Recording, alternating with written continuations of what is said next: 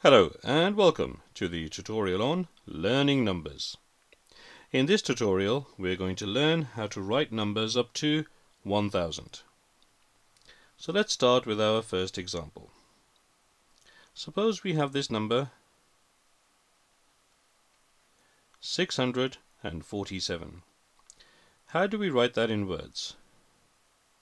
Well, we start with actually let's label the numbers first with the units, the tens, and the hundreds.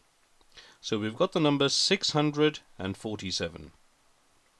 Let's start with this side here, 600. Well, we know how to write that down, 600. And as we've said before, it's always good practice to write and. 600 and the next part is easy. It's 47. And we've done numbers up to 100 it's 47. There we go, 647. That's nice and easy. If you know how to do numbers up to 100, taking it up to 1000 is the next step and it is it follows the same pattern. It is very very easy. Okay, we're now going to have a look at our second example. So now we've got 832. 832. How do we write that down in words? Again, let's start with the 8.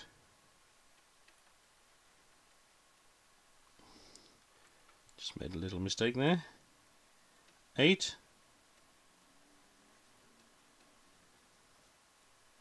Hundred and.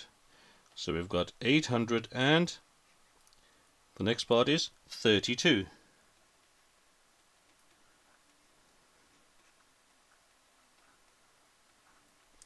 Eight hundred and thirty-two.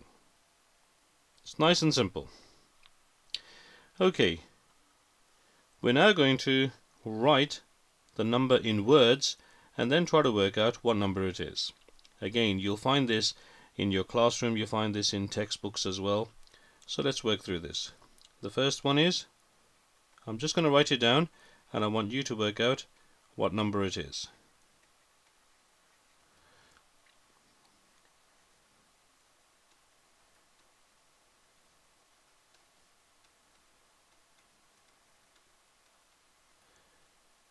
Okay, so that is our number in words. You have to work out what the number is in numbers. Well, let's start on the left hand side. 500. So we can write down 5. 5. The next part is 29. We can just write that down. 29. 529. It really is that simple. Okay, let's look at one which is a little bit tricky.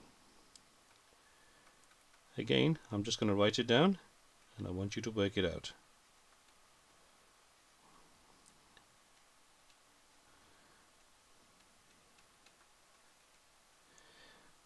So there is our number. I want you to have a read of it and try writing it down.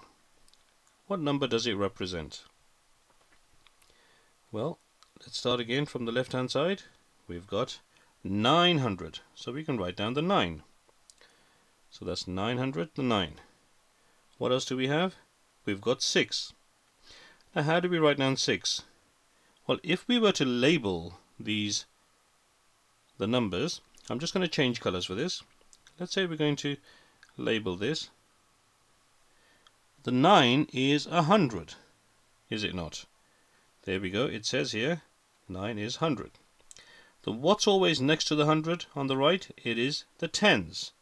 And next to that is the unit. So we've got hundreds, tens, units.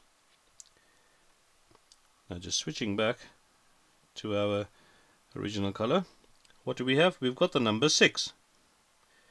Now 6 is, it doesn't say 60, it just says 6 on its own.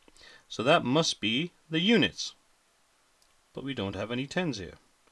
Are there any tens written in the words? Well, they're not. So this must be 0. That is our number, 906. 906. just be careful if something like that happens or if you get a question like this and believe me you will get a question like this. Okay one very final one we're going to learn how to write down 1000 so suppose the number we have is 1000 there it is. Now how do we spell that? Well we write down 1 how do we write thousand? T H O U S A N D thousand. You can even spell it. You can sorry. You can even split it. Thou, and you can write and sand. Thou sand, and it is thousand. That's how you say it. One thousand. So that is how to write numbers up to one thousand. Now you have a go. Write a number down and see if you can write it in words.